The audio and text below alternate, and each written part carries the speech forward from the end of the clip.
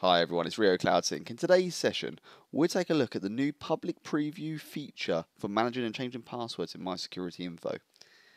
Once again, this is a new feature and this is associated with your profile and account. This allows you as an end user to change your password through the My Security Info pane.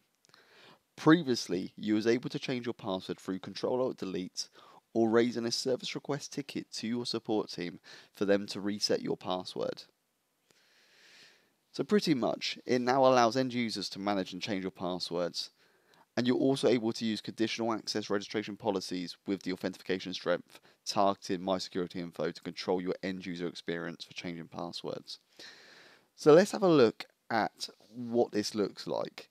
So if I was to access um, Entra Admin Center, and if I was to select my profile, and then press View Account, that will take me to my uh, account settings, of which I've got two options. I can change password from this pane, or I can select security info. You have an option to change your password here, um, but just for this walkthrough, we're going to select update info.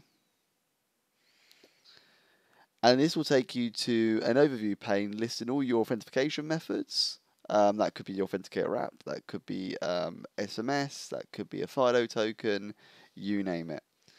However, we now have an option to uh, for password, in which we can see when it was last updated, and we now have an option to change our password.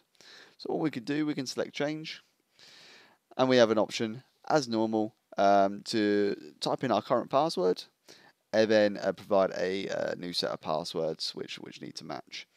Once we've done that, we just press submit, and voila, your password has now changed from the My Security Info pane. So this was just a, a quick win for any um, help desk um, engineers out there um, who you know want to reduce burden to the help desk in terms of support requests. Um, and also want to find a, an alternative way of changing um, an end user's um, password.